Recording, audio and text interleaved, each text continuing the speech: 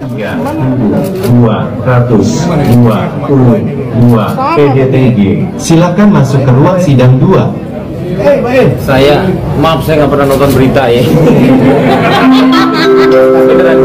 Nomor antrian di tujuh. Momen pengacara Nikita Mirzani Pahmi Bahmid ketemu dengan Rasman Arif Nasution yang menjadi pengacara Baim Wong juga. Ya selain dikecengin sama Baim, ternyata Rasman ciut menghadapi Pahmi Bahmid secara langsung. Nomor antrian 12. Silakan menuju pos layanan hukum. Nomor antrian 12. Silakan menuju pos layanan hukum. Nanti gua kasih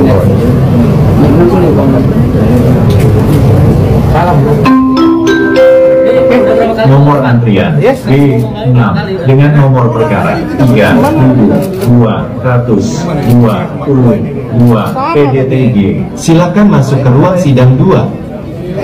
Saya, maaf saya nggak pernah nonton berita ya. Nomor antrian di tujuh.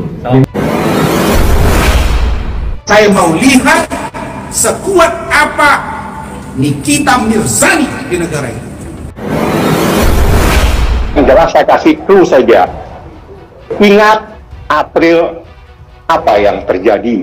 Ingat Juni apa yang terjadi. Cukup sampai di situ saya sampaikan. Lain-lain Anda sampaikan, Anda jawab pada saat Anda diperiksa oleh penyidik. Ingat, penyidik mempunyai bukti yang cukup banyak. Kok saya yang Oke, dilaporkan? jadi jawabannya Anda Saya tidak merasa salah begitu ya? Membeberkan takut. hasil Nih, nih, USG nih. tersebut, Bang Rasman. Nggak takut. Saya nggak tahu itu takut apa roti takut itu ya. Bikin gemes netizen se-Indonesia Raya Bagaimana tidak secara tak sengaja Rasman ketemu dengan Pahmi Bahmid pengacara Nikita Mirzani Yang sekaligus hari ini ia pun menemani kliennya yakni Baim Wong untuk melakukan gugatan cerai kepada Paula Verhoeven istrinya ya gugatan cerai yang sedang berlangsung antara Paula dan Baim.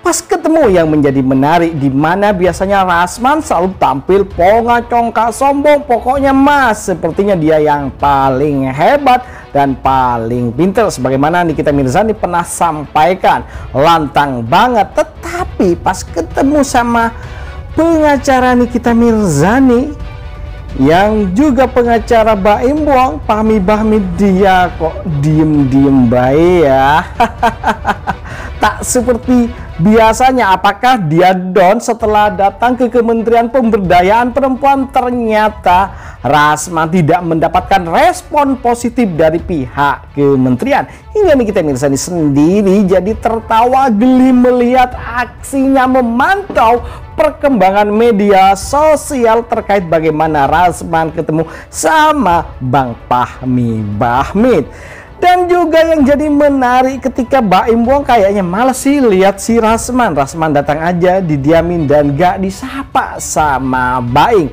Sama Baim ya.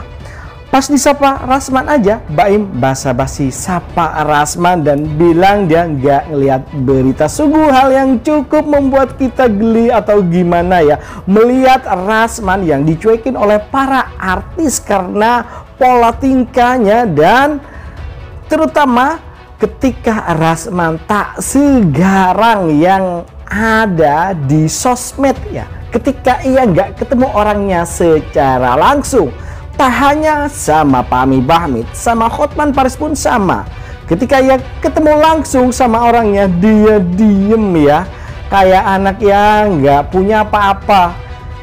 Kayak anak kecil yang takut akan apa yang ia hadapi. Sama halnya dengan Rasman. Ketika ketemu dengan Pami Bahmid kali ini dia seakan nyalinya cut. Ketemu dengan pengacara Nikita Mirzani. Hal tersebut tentunya menarik perhatian kita sekalian terutama netizen Indonesia Raya ini yang sering melihat Rasman begitu ponga saat memberikan statement di depan awak media Tetapi pas ketemu orangnya secara langsung, pas ditampol umpamanya seperti ditampol Nikita Mirzani, waktu dia uh, press conference kemarin, press conference kemarin ternyata ya Rasman akhirnya merayu-rayu, meraju-raju. Dia tidak bisa ketemu secara langsung. Ternyata ya ciut juga, takut juga. Ya hanya bisa berapi-api kalau nggak ada orangnya.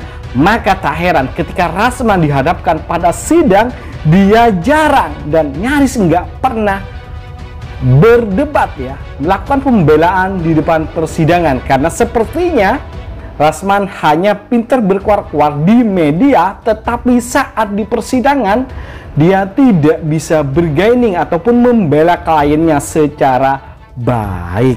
Maka tak heran kita semua sekarang merasa senang ya melihat ekspresi Rasman yang tiba-tiba kalem saat ketemu Pahmi Bahmit. Lucu banget. Apakah dia down juga? Karena dia mendatangi pihak Kementerian Pemberdayaan Perempuan tapi sepertinya dia tidak mendapatkan respon yang baik ya yang cukup baik dalam artian ya karena Rasman sendiri bukan hmm, saudara dari Laura Mizani atau yang biasa kita panggil Loli. Dia hanya orang lain begitupun yang namanya Fadel hanyalah pacar mantan pacar yang nggak tahu dan tidak termasuk dalam kakak bukan ahli bukan saudara dan lain-lain atau kerabatnya. Sehingga tidak elok dan tidak pantas ya meminta pelindungan pada uh, pemberdayaan perempuan. Tentunya hal tersebut adalah upaya atau manuver yang salah kaprah manuver yang tidak relevan yang dilakukan oleh Rasman Arif Nasution hanya mencari sensasi belaka. Ya, hal itulah yang menjadikan kita tentunya akan menunggu bagaimana babak selanjutnya apa yang akan ia sampaikan di Instagram pribadi terverifikasi Rasman Arif Nasution tersebut ya. Rasman nantinya tersebut apa yang nantinya dia akan sampaikan di medsosnya itu. Tentu kita masih menunggu karena sampai saat ini Rasman pun masih kicep dan bungkam karena uh, apa dia tidak ketemu sama ya menteri pemberdayaan perempuan atau ya karena tidak mendapatkan respon yang baik karena dia bukan saudara family dari Laura Mezani. Silakan kalian kasih komentar bagaimana menurut kalian.